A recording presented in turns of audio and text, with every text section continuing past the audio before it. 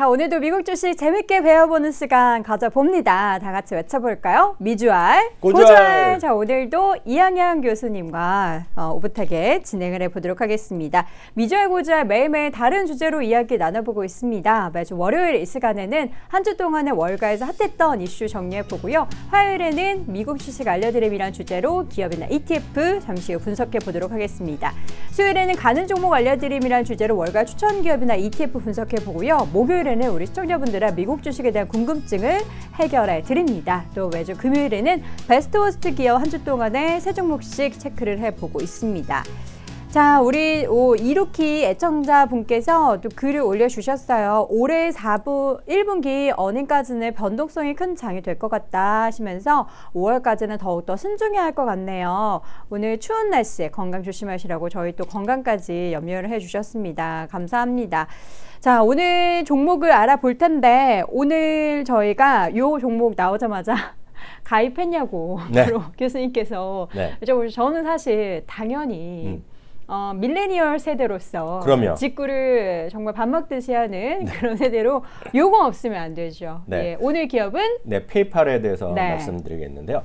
어, 페이팔 하면 이제 간편 결제로 하는 거죠. 우리나라에서도 요즘 많이들 이제 인식 활성화돼 있잖아요. 그쵸. 우리나라에서도 예를 들어서 저는 이제 네이버 우리나라 쇼핑할 때 네이버 페이를 많이 네이버 쓰거든요. 페이. 음. 그러면 보통 숫자 여섯 자리 일곱 뭐 딱딱 치면 바로 결제되잖아요. 네, 네, 바로 그런 거에 원조 같은 음. 회사가 바로 페이팔이다라고 보셔야 되겠고 요. 네. 네. 실제로 보면 음. 미국이나 뭐 캐나다 등 뭐 유럽 다 마찬가지 음. 되는데 여기에 생활하시는 분들 네. 그리고 아니면 유학생분들 음. 주재원들 많고 아니면 음. 친인척 끼리 돈 주고 받거나 이런 음, 분들한테는 특히 해외 직구 지역 포함해서 페이팔은 필수 아이템이죠. 이거 없으면 서로 거래가 잘 안 되고 돈을 주고 받기 쉽지 않은 거죠. 직접 안 하고 이렇게 페이팔을 거쳐서 하는 거예요? 이게 뭔가 보안이 더 잘 되나요? 네, 보안도 잘 된 것도 있고 음. 가장 중요한 건 편하죠. 예를 들어서 우리나라도 카드 음. 할때 보면 우리나라 수많은 페이 할 때 미리 간편 결제해 놓은 것은 보세요. 카드 하면 카드 번호 숫자 16자 내지 15개짜리 네. 넣고요. 아, 비밀번호 비밀번호 넣고 만기 일자 넣고요. 그쵸. 요즘은 또 QVC인가요? 아, 세 자리 CVC 또 CVC라고 그래. 네. 또 넣고 그러니까 숫자 엄청나게 많이 해 놓는 거잖아요. 저는 심지어 네. 카드 결제를 하도 자주 해서 네. 제 카드 그 번호 16자리를 다 외우고 있었거든요.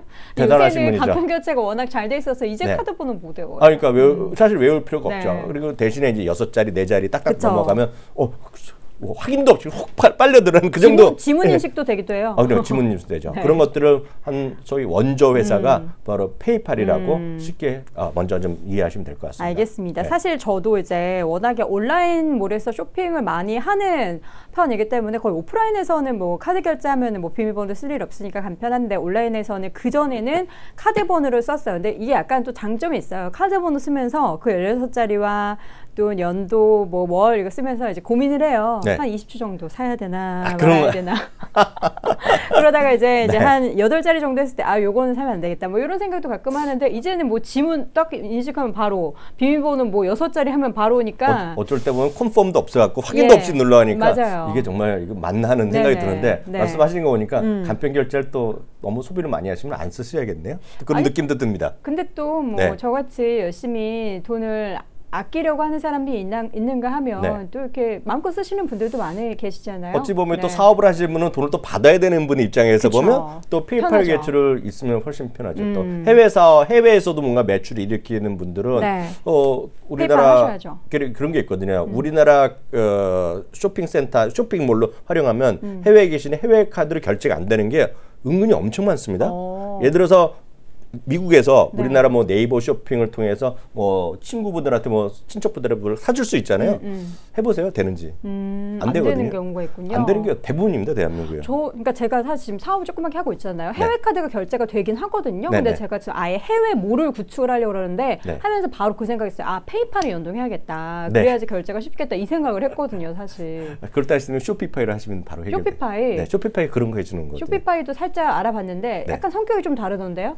근데 근데 쇼핑몰을 만들어주고 네. 결제 다 해주니까 편하죠. 아, 네. 또 그렇습니다. 그건 나중에 네, 얘기하고요. 개인적으로 얘기하고요. 네, 어찌됐건 이 회사가 음. 유명해진 거 계기가 있어요. 네. 가장 그 유명한 여러분들 좋아하시는 어. 일론 머스크가 거의 창업 직후에 들어가면서 자기 회사가 된 거죠. 오. 그러니까 일론 머스크가 유명해지고 일론 머스크가 큰 돈을 벌게 된 가장 첫 번째 계기가 물론 그 전에도 유명했던 분이지만 나름 이 회사가 엑스닷컴이라는 걸 일론 머스크가 갖고 있었는데 네. 이게 처음에 생겼던 페이팔이랑 합병하면서 음. 페이팔이라는 이름으로 됐겠고요. 음. 그래갖고 또 일론 머스크를 비판하는 사람들이 처음에 만든 사람 다 쫓아냈다는 얘기예요. 음. 막 법적 분쟁하고. 음. 근데 결국 그 회사를 페이팔을 어디다 팔았냐면 이베이한테 팔았습니다. 음. 그래갖고 일론 머스크가 종잣돈이 많이 생긴 거예요. 음. 근데 나중에 또 어, 유명한 행동주의 투자가 나오면서 이래갖고는 안 되면서 또 분리, 분사시키면서 네. 재상장을 하고 나온 것이 2015년에 페이팔이 다시 PYPL이라는 심벌로 다시 음. 재상장까지 한 게들이 바로 페이팔이 되겠습니다. 네.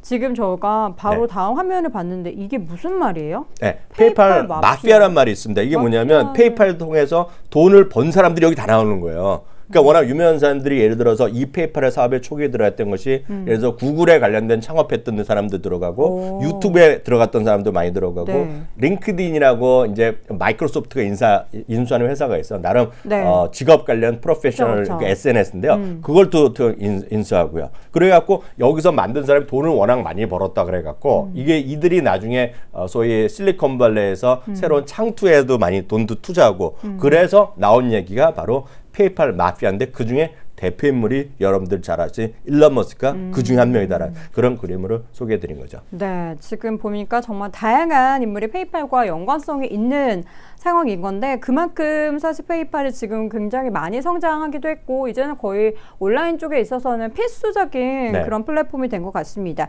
글로벌 시장 점유율은 당연히 1위죠. 1등. 네, 우리 1등 아니면 별로 얘기를 잘 안 하거든요. 네. 전 세계요. 이제 작년 음. 11월 기준인데요. 전 세계 39만 4,564곳의 온라인 상거래 업체에서 지금 이걸 사용하고 있습니다. 네. 페이팔을 사용하고 있고요. 그렇기 때문에 전체 시장에서 온라인 쪽에서 시장 점유율은 60.3%입니다. 음. 여기 보면 아마존 페이도 들어가고 스트라이프 체크아웃도 들어가고 여러 개가 들어가지만 결국 페이팔이 압도적인 시장 점유율을 갖고 있다는 거죠. 예를 들어서 여러분들이 개인적인 사업하시는 분들도 마찬가지, 음. 개인들 마찬가지.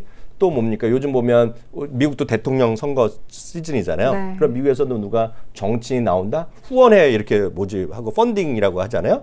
그러면 펀딩할 때 그 사람의 그냥 이메일만 알고 그 사람이 만들어 놓은 그 어떤 사이트만 있으면 바로 그냥 어. 있으면 바로 그냥 펀딩에 바로 참여할 수 있거든요. 어. 마찬가지죠. 여러분들이 무슨 동창회를 한다. 음. 우리나라 요즘 보면 카카오페이 많이 모이잖아요. 똑같은 겁니다. 그래서 카카오페이나 네이버페이 이런 것들이 모두 다 벤치마크한 거가 바로 페이팔이다라고 아. 먼저 좀 이해하시면 될 것 같아요. 이게 이제 단순한 결제뿐만 아니라 현금을 주고받을 수 있는 뱅킹 서비스까지 바로 다 연동이 되어 있는 거기 때문에 사실 이제 우리나라에도 이걸 이용하는 분들은 물론 해외 직구를 통해서 많이 이용하지만 아까 말씀해 주셨던 네. 것처럼 해외로 돈을 송금할 때도 많이 사용을 하고 있다라는 걸 여러분께서 좀 인지를 해 주시면 좋을 것 같습니다. 지금 방금 뭐 주가를 보니까 어, 계속해서 우상향을 보이고 있는 상황인데 지금 전 세계적으로 시장 점유율이 1인데 전체 점유율 면에 있어서는 거의 절반 이상을 페이팔이 차지하고 있다고요. 그러니까 절반 이상으로 압도적인 점유율을 갖고 있고 네. 완전 독과점의 과점이나 음. 마찬가지인데요. 바로 말씀하셨던 거를 조금 더 정리해 드리면 네. 이런 거죠. 예를 들어서 여동 앵커께서 무슨 어, 개인적으로 무슨 뭐 친구들끼리 돈을 모아서 음. 어디 뭐 여행 갈 수 있잖아요. 네. 그러면 여동 앵커가 딱 하나면 내 음. 이메일 알지. 음. 이메일만 하면 바로 돈을 보낼 수 있습니다. 이메일, 그러니까 거기 페이팔에 제 이메일 네, 주소를 입력해 네, 놓으면 등록된 이메일로 아. 알려주면 그 친구가 어느 은행이 있건 어느 음. 계좌에 있건 간에 내가 페이팔에 상호 계좌만 있으면 바로 돈을 보낼 수 있거든요. 아. 근데 그거를 조금 더 쉽게 완전히 현금을 서로 주고받는 것 같이 우리나라 마치 음. 카카오페이 아니면 요즘 뭐 토스 이런 거 있잖아요 그쵸. 우리나라에서 그런 거로 만들어 놓은 것이 그 다음 화면이 되는데요 음. 바로 벤모입니다 벤모 벤모 네. 벤모는 우리나라에서 음. 이제 서비스 안 하고 미국에서만 서비스를 하고 있는데 이게 네. 바로 여러분들 카카오페이 같은 건데 이게 벤모미 이렇게 하면 돈 달라는 거죠 네 맞습니다 그 음. 벤모가 예를 들어서 구글이면 구글링이 동사가 돼 있잖아요 그쵸. 구글링 한다 뭐 하듯이 벤모는 벤모는 그냥 돈을 주고 받는다 이런, 음. 이런 거예요 그래서 영어로 보면 벤모미 20 달러스 하면 나한테 음. 20달러 보내라 이런 거 음. 되겠고요. 어 약간 우스갯소리 좀 음, 조금 가벼운 말씀드리면 이런 게 많이 있습니다. 뭐요? 어, 남자 여자가 데이트를 할 수 있잖아요. 네. 처음에 소개받아 갖고 네. 데이트하면 우리나라도 이제 소개팅 그런 거라 네, 그러나요? 네. 그러니까 영어로 보면 blind date, 예, blind date라 그러잖아요. 네. 자기네끼리 이제 연락해서 음. 만나고 아니면 요즘 dating 앱들이 많아서 만나잖아요. 음. 그러면 잘 지냈어요. 음. 그래서 처음에 뭐 좋다고 해서 남자가 사줄 수도 있고 뭐 이렇게 얻어 먹을 수 있잖아요. 근데 예를 들어서 깨진 거예요. 둘이 안 나오잖아요. 그동안에 돈 뱀몸이 뭐 이러는 거. 어, 그 어떻게 하셨어요? 그래갖고. 아, 찌질해요. I'm so 뱀모 드란 말 합니다. 나 그 친구한테 뱀모 당했다고. 그게 돈 달라는 거예요.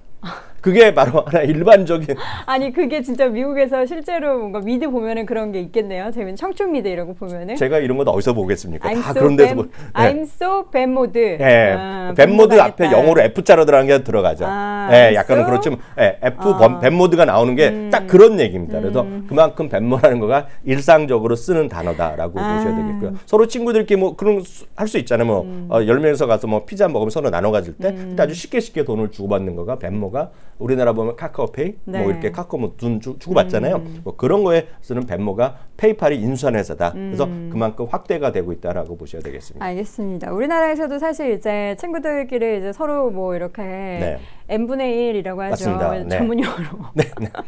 그런 거 할 때 이제 뭐 계좌번호 알려줘 이렇게 얘기하면 요새는 너 카카오페이 없어? 어, 그런 거죠. 이렇게 마, 맞습니다. 이제 깜짝 맞습니다. 놀랐는데 네. 미국에서는 뱀모 없어 이렇게 어, 젊은 친구들은 하겠군요. 그냥 100명이면 99명이 다 있다고 보시면 됩니다. 아, 미국에서는. 너무 예. 편하니까요, 예, 예, 사실. 맞습니다. 예. 그래서 돈이 드는 것도 아니고. 아니 그러니까요. 자, 걸, 결제 건수가 정말 대단한데 이게 여기 네. 보니 제목에 10억 건이라고 했거든요. 네, 엄청나죠. 이게 어느 정도 가늠이 안 돼요. 그 감이 안 드는 정말 수, 그, 좀 수많은 건수가 음. 일어나고 있으니까 그게 이제 실제로 보면 매출이요. 매출이 어, 장, 지난 분기만 보더라도 17%나 매출이 늘어났고요. 네. 당연히 이익이 뭐 늘어날 수밖에 없는 그런 구조가 되겠고요. 이게 네. 말씀드렸다시피 미국만 쓰는 게 아니라 전 세계적으로 다 쓰고 있거든요. 음. 그러니까 미국 미국 만 하더라도 19%, 미국을 제외한 전 세계가 16%니까요. 이게 압도적인 점유율로 1등 회사로 지금 가고 있다라고 보셔야 되겠습니다. 물론 네. 앞으로 더 많이 쓸 수 있겠죠. 더 많이 쓸 수 있겠으나 다른 경쟁사도 나오겠지만 한 번 확고하게 뱀모란 게 동사까지 된다면은 음. 다른 데가 좀 찾기 쉽지 않잖아요. 근데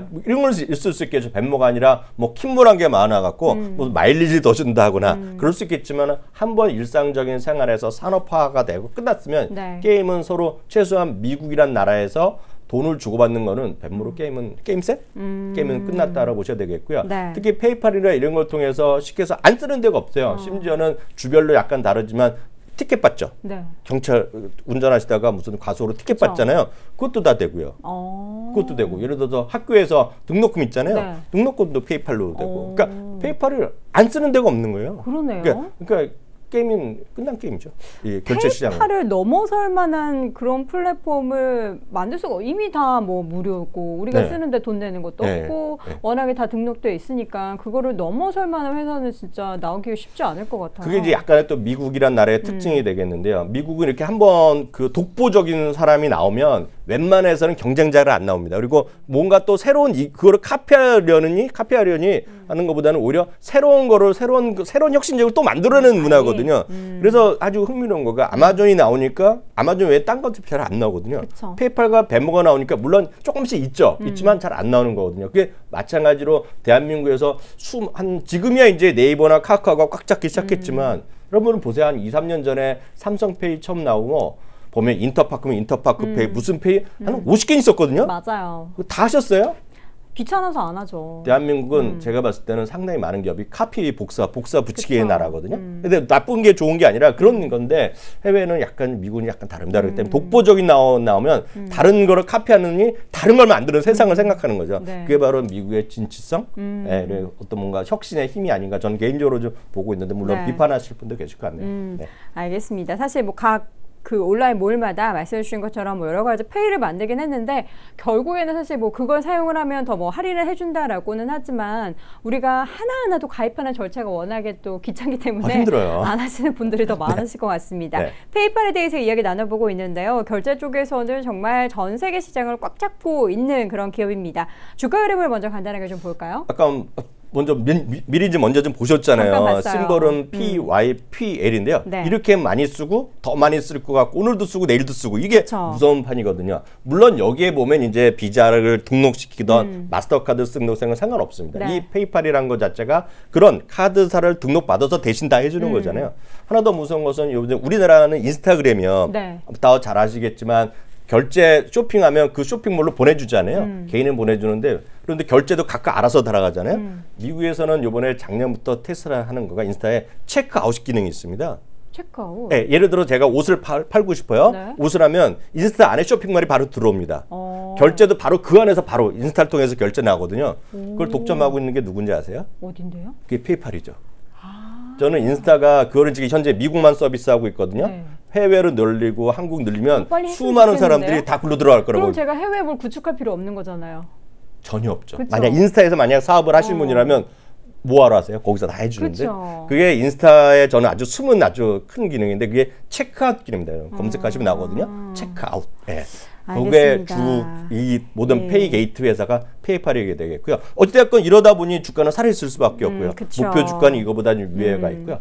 바로 그 다음 화면 보시면 네. 목표 주가나 투자 의견은 물론 보유 의견도 있지만 네. 지금보다 상당히 높게 목표 주가가 많이 어. 형성돼 있고 보통 130달러에서 많게는 140달러에 근접한 음. 139달러 제공하는 제시하는 거가 두세 군데 음. 있네요. 네, 여기 보니까 최근에 1월 30일에 나왔던 보고서 중에서는 153달러를 제시한 어, 곳도 있어요. 맞습니다. BMO에서 비모가 153달러를 업계에서 어, 지금 제임스, 네. 제임스가 네. 어, 착한 친구죠. 제임스, 제임스 딘 생각나는데 어쨌든 제임스가 153달러까지 아주 높게 제시를 했습니다.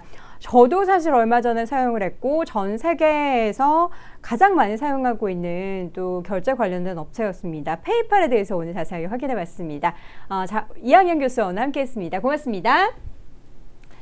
자, 해외 투자 플랜 오늘 준비된 소식 여기까지입니다. 지수 상황은 크게 변화는 없는데요. 코스닥이 살짝 낙폭을 조금 더 줄여가고 있습니다. 오늘의 하락이 좀 빨리 마무리가 되고 다시금 시장이 좀 기지개를 폈으면 좋겠습니다. 저는 내일 오후 1시에 다시 돌아오겠습니다. 시청해주신 여러분 고맙습니다.